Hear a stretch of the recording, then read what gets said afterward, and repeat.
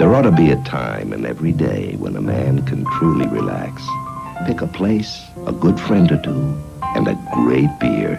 When it's time to relax, never stands clear.